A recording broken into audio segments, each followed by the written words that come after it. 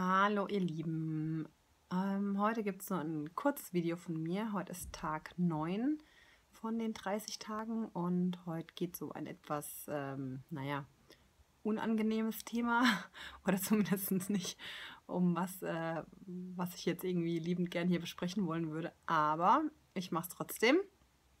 Und zwar war ich heute, hatte ich heute zum ersten Mal in meinem Leben eine Darmspiegelung. Yay! ähm, und zwar einfach aus dem Grund, dass immer, wenn ich da im Fernsehen diese ähm, Werbung sehe, diese. Ups! Sorry. äh, ich muss erstmal gucken, wie ich die Kamera hier richtig ähm, hinkriege. So, ich mache hier ein bisschen klein. Also immer, wenn ich im Fernsehen diese Felix Burda ähm, sehe oder überhaupt irgendwo was lese oder so, und dann ist ja immer ganz großes Thema ähm, halt, äh, dass man da eben zur Darmkrebsvorsorge gehen sollte und dass es eben so ist, wenn man dann irgendwelche Anzeichen hat, dass es dann ja eigentlich schon zu spät ist und so. Und ähm, deswegen habe ich da halt immer so ein bisschen mir Gedanken gemacht, ähm, dass man es einfach überhaupt nicht mitkriegt, wenn irgendwas wäre. Und eigentlich wollte ich schon vor drei Jahren deswegen mal zu einer Darmspiegelung gehen und ähm, hatte auch damals den Gesprächstermin schon ausgemacht und dann kam aber hier diese Brustkrebsdiagnose und dann war es natürlich erstmal alles hinfällig. So, jetzt aber alles soweit rum. Ähm, meine ganzen anderen Nachsorgegeschichten sind auch alles soweit gut und im Grunde, also ich fühle mich auch gut. Es war jetzt nicht, dass ich irgendwie gedacht habe, oh Gott, äh, ich glaube ernsthaft, ähm, ich hätte irgendwas, aber ähm, ja, irgendwie spielte dann doch so ein bisschen das mit rein, dass man sich denkt, naja, Du hast ja beim letzten Mal auch nicht gemerkt, dass irgendwas ist. Und deswegen, lange Rede, kurzer Sinn, wollte ich jetzt einfach mal auf Nummer sicher gehen und wollte das kontrollieren lassen, beziehungsweise überhaupt irgendwie mal untersuchen lassen. Ähm, ja, und deswegen bin ich jetzt ein bisschen müde, weil ähm, das unter so einer ähm, Narkose, unter so einem Tiefschlaf durchgeführt wurde. Und da gab es, glaube ich, dieses Propofol oder wie das heißt. Ähm, das Zeug, was im Grunde alles auch nicht schlimm war. Also hier ganz wie im Krankenhaus auch sonst üblich, ähm, war aber in einer, ähm, in einer ambulanten Praxis. Aber wie sonst eben auch üblich gibt's, äh, kriegt man so einen Zugang gelegt und da kommt dann eben das Narkosezeug rein und dann äh, so 3, 2, 1 ist man weg und dann macht man eigentlich auf und ist nur noch im Aufwachraum kurz und dann durfte ich schon wieder nach Hause, beziehungsweise der Timo hat mich hingefahren und noch abgeholt, weil man ja eben dann nicht selber fahren darf. Und äh, ich habe jetzt die ganze Zeit mega Hunger und habe mich eben erstmal vom Timo auch bekochen lassen ein paar Nudeln, ähm, weil für die, die das noch nicht äh, gemacht haben und da auch keine Ahnung von haben, man muss dann ja vorher erstmal so äh, Abführzeug nehmen, äh, damit eben alles schön gereinigt ist und so. Ja, ich weiß, äh, es ist jetzt kein tolles Thema hier zum drüber sprechen, aber es ist einfach halt wichtig. Deswegen äh, mache ich das auch. Und ähm, ja, das heißt also, ich durfte jetzt, ich habe eigentlich gestern den ganzen Tag und heute auch ähm, nichts gegessen und ähm, eben nur dieses komische, ekelhafte Apfelzeug da trinken müssen. Also das, ich, das war eigentlich das ekligste an der ganzen Geschichte, dass man dann abends, ähm, ja eben so abends und heute Morgen jeweils so einen halben Liter von diesem Apfelzeug da trinken muss und das wirklich einfach nicht gut schmeckt. Und ähm, ja, fand ich persönlich mit am schlimmsten. Danach dann eigentlich erst das äh, Nichts essen dürfen, wobei das auch schlimm war oder irgendwie, ja, einfach nicht so schön ist. Und die Darmspiegelung selber jetzt äh, fand ich überhaupt nicht schlimm, weil ich davon nämlich überhaupt nichts mitgekriegt habe. So, ja, und jetzt, wie gesagt, habe ich die ganze Zeit Hunger und ähm, werde mir jetzt gleich nochmal irgendwie ein Brot machen oder so und ansonsten noch ein bisschen äh, lesen. Das habe ich nämlich jetzt gestern und heute gemacht. Da habe ich ziemlich viel gelesen, weil ich eben sonst auch nichts machen wollte. Einfach damit ich das in Ruhe alles hier so äh, machen kann.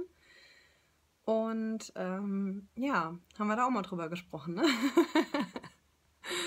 ja, wie gesagt, also ist jetzt nicht das schönste ähm, Thema vielleicht, aber ähm, der Grund eben, warum ich es trotzdem äh, hier jetzt einfach euch erzählen wollte, ist der, ähm, ja, dass man da, glaube ich, wirklich einfach mit diesen Vorsorgeuntersuchungen extrem viel machen kann. Also es gibt ja eben nicht nur diese, da also gibt ja nicht nur Darmkrebs selber, sondern ganz oft hat man ja solche Vorstufen, solche, ähm, ich glaube Polypen oder so heißt das, äh, die dann eben bei so einer Spiegelung schon weggemacht werden könnten. Und deswegen ist eben diese Spiegelung dann auch ähm, so, ein gutes, so eine gute Untersuchungsmöglichkeit. Und äh, ich will jetzt auch nicht irgendwie Panik verbreiten oder so oder irgendwie das nicht. Aber grundsätzlich äh, einfach nochmal hier die, die Gunst der Stunde nutzen, um auf äh, die allgemeine Krebsvorsorge hinzuweisen. Also ähm, lasst euch da wirklich regelmäßig untersuchen. Ähm, auch bei Frauen tastet regelmäßig die Brust ab, einmal im Monat. Also setzt euch da echt irgendwie einen Termin jeden Monat, am ähm, ersten oder keine Ahnung, äh, an irgendeinem Termin, wann es euch halt gut passt und äh, tastet euch da eben äh, einmal ab und wenn ihr eine Veränderung merkt, dann geht zum Arzt. Das ist auch ganz, ganz wichtig, denn ich habe schon so viele Nachrichten gekriegt von Leuten, die dann schreiben, ja, sie haben da jetzt irgendwie was gemerkt und äh, jetzt trauen die sich nicht zum Arzt zu gehen. Leute, wenn ihr da nicht zum Arzt geht, wird es nicht besser im Normalfall. Also geht lieber zum Arzt und ähm, lasst euch dann im besten Fall von dem sagen, dass die Angst von euch unbegründet ist und dass eben das äh, nichts ist. Dass, keine Ahnung, zum Beispiel ein Knubbel in der Brust kann auch einfach eine Zyste sein oder so. Ähm, also ähm, ja, macht es einfach und steckt da nicht irgendwie den Kopf in den Sand ähm, und denkt, dann wird alles einfach von selber sich regeln. Also wenn ihr in irgendeiner Art und Weise das Gefühl habt, dass irgendwas nicht stimmt, dann äh, je nachdem, was es ist, sucht euch eben einen Arzt auf und redet mit denen und auch keine falsche Scham. Also ich kann aus eigener Erfahrung sagen, es ist jetzt vielleicht nicht irgendwie das, das Schönste an sich, irgendwie sowas machen zu lassen. Aber ähm, ich habe früher mal im Behindertenwohnheim gearbeitet, in meiner Ausbildung zur Erzieherin und äh, habe da eben erwachsene Menschen mit geistigen, körperlichen oder mehrfachen Beeinträchtigungen äh, betreut und zum Beispiel auch jeden Tag dann geduscht oder eben die auch bei Toilettengängen begleitet oder sowas. Und im Grunde ist es so, wenn man in so einem Beruf arbeitet, dann ist es alles einfach normal. Also kein Arzt wird da irgendwie denken, ach, jetzt kommt aber hier die Frau äh, wie auch immer, und, ähm, und hat da irgendwie was Komisches oder, ne? Also, es mag vielleicht unangenehm sein, aber sterben ist blöder, würde ich mal sagen. also von daher, ähm, ja, keine falsche Scheu. Geht's an, macht euch einen Termin aus für whatever ihr untersuchen lassen wollt. Und ähm, ja, ansonsten, äh, bei mir war übrigens alles in Ordnung, alles super. Der Arzt hat mir zum Abschied gesagt, er möchte mich dann erst wieder sehen, wenn ich 50 bin. Ähm, sehr gut. und äh, falls nicht irgendwelche anderen äh, Anzeichen jetzt bis dahin kommen sollten, dann äh, werde ich mich auch daran halten, denn ich bin ja immer froh, wenn ich einen Arzt eigentlich nicht sehen muss. Und ja, das Wort zum Sonntag oder in diesem Fall eben Mittwoch. Ähm, Vorsorge rettet Leben, heißt es ja immer so schön. Und deswegen, ja, lasst euch da entsprechend beraten und äh, untersuchen, falls ihr irgendwelche Zweifel habt.